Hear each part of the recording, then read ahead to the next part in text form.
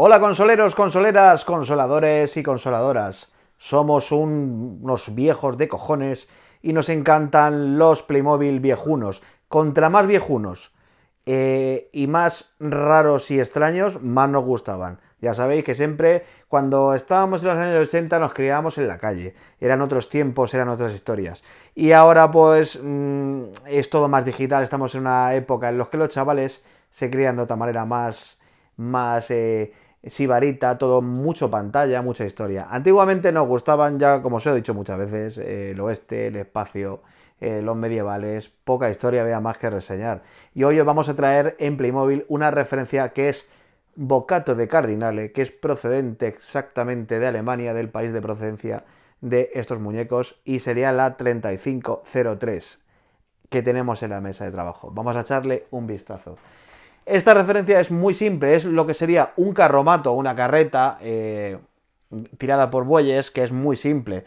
Como siempre, Playmobil tenía su propio sistema de enganches en las carretas, como ya vimos en el anterior vídeo con la, la carreta del oeste antigua, la de la Wells Fargo. Y esta era muy simple, esta venía acompañada de dos figuras, un click y un clack, que por eso se llaman así los Playmobil.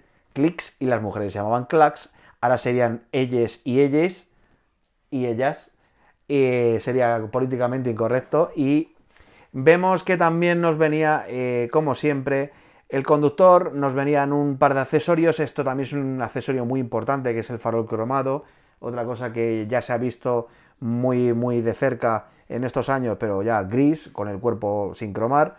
Luego tenemos también lo que es la, la mujer que venía con este con este carromato, que era, que era la señora con las herramientas de trabajo, y venían, eh, además de los bueyes que ya trae, venía lo que es un buey con su ternerín, con su hijo.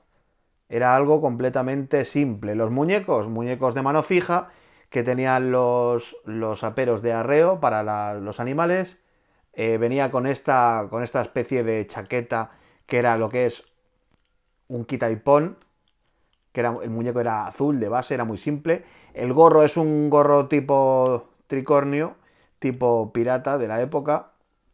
Y como os hemos reseñado, ya la figura era muy simple y era de mano fija, pero aun siendo simple, es una referencia que tampoco se está viendo todos los días, es una referencia bastante chunga de encontrar.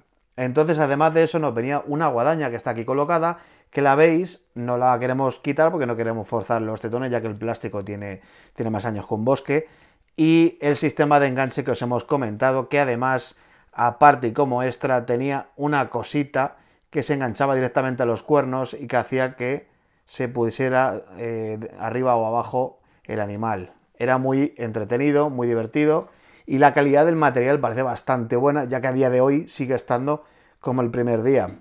La muñeca también de mano fija, el cuerpo base era rojo, los brazos y las piernas azules, el típico gorro de doncella medieval de la época, y luego ese pañuelito a modo de, vestimenta para darle un poquito más de empaque al set.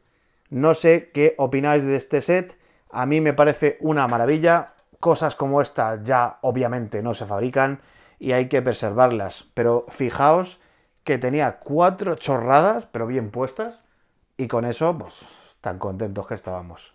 Ya sabéis, si os ha gustado Playmobil, si os gustan los viejunos, si os gustan las cosas bizarras y extrañas de los 80, de los 70, este es vuestro canal y saludos de Tito Phil. Ya sabéis, suscribíos que es gratis. Saludos.